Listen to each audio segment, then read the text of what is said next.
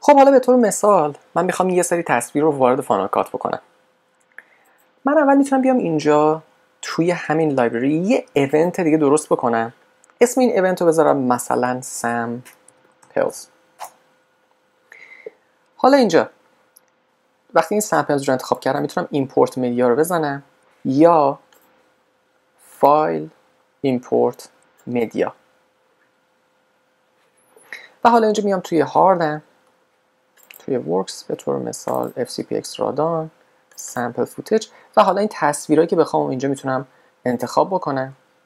و با کامند شما می‌تونید مثلا فرض کنید به این شکل اینا رو انتخاب بکنید. حالا مثلا سه تاشون رو انتخاب بکنید.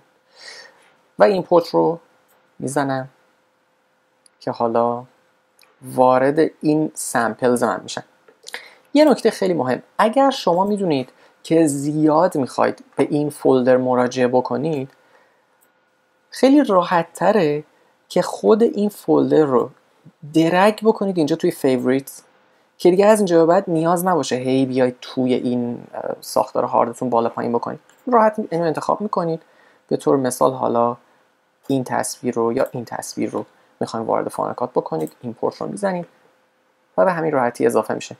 اما یه روشی هست که از اینم راحت تره. اینه که شما اصلا تصویراتون رو که مثلا الان اینجا توی این folder My Short Films هست مستقیما drag بکنید توی Final Cut به طور مثال من اینجا یه library جدید درست می‌کنم برای اینکه با این قاطی نشه.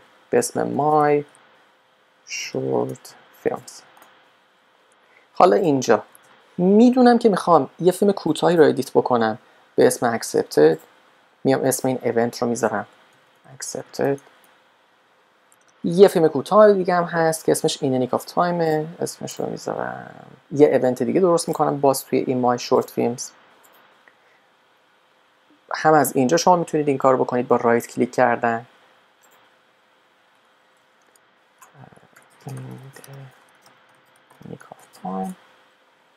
هم همونطور که شما دیدید از طریق file new event می‌تونید یه event جدید درست بکنید. هم می‌تونید با shortcut Alt و N این کار رو بکنید. من اینجا به طور مثال یه سری پشت صحنه دارم که توی استودیو یونیورسال فیلم‌برداری شده میام اینا رو اینجا می‌خوام واردشون بکنم Alt N رو می‌زنم. اسمش رو می‌زنم behind the scenes. حالا تصویرهای behind the scenes رو خیلی راحت drag می‌کنم اینجا. توی behind the scenes تصویرهای In the Nick of Time رو خیلی راحت همه رو انتخاب می‌کنم. drag می‌کنم اینجا.